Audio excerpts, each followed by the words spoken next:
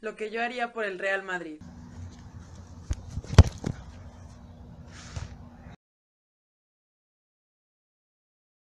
¡Hala Madrid!